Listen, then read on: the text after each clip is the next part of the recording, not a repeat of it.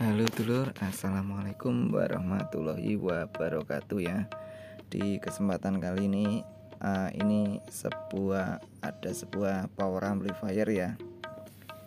Power amplifier ini baru saja saya rakit ya.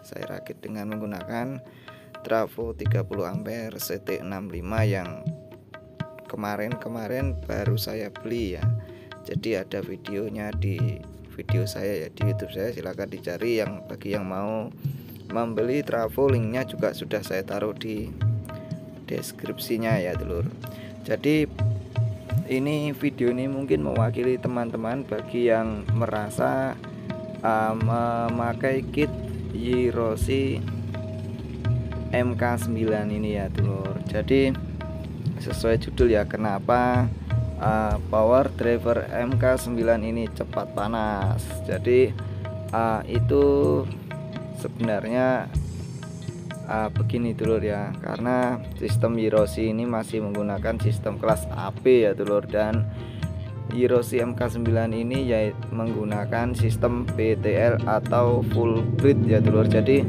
penggabungan dari dua power menjadi satu atau yang lebih awamnya dikenal yaitu BTL ya dulur ya.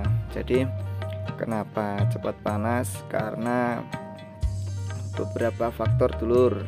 Yang pertama teman-teman banyak yang belum tahu bahwa kalau menggunakan power BTL ya impedensinya pasti akan terbaca setengah.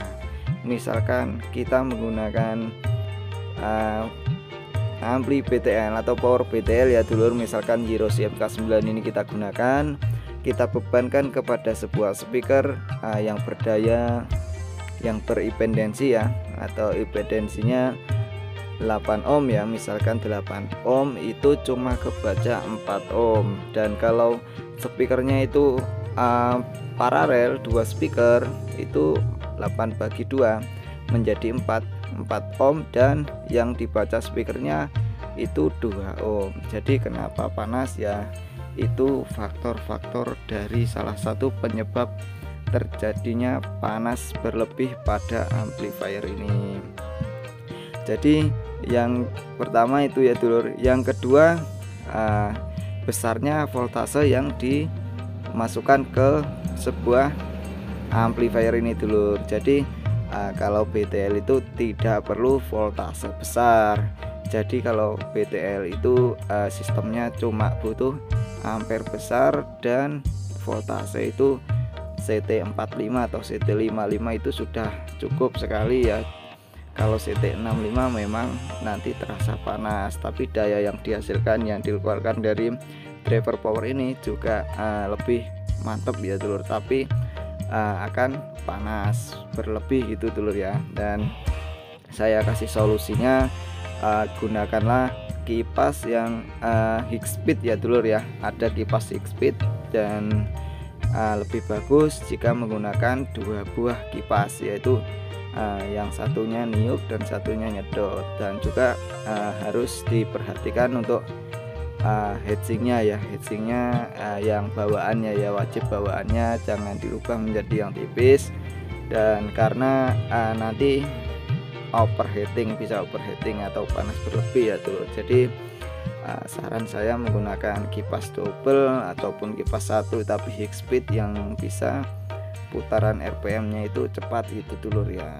Jadi menurut saya uh, karakter dari Hiroshi ini sih cukup mantap dulu ya terutama buat uh, subwoofer juga oke okay, dan buat low juga oke. Okay. dan saya sarankan untuk menggunakan dibebankan ke sebuah speaker 4 ohm dulu ya jangan dibebankan ke 2 ohm. Jadi satu speaker itu 8 ohm nanti bisa kebaca 4 ohm. Jadi untuk pengertiannya atau penjelasannya cukup sekian ya dulur.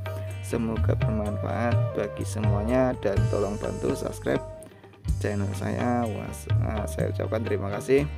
Wassalamualaikum warahmatullahi wabarakatuh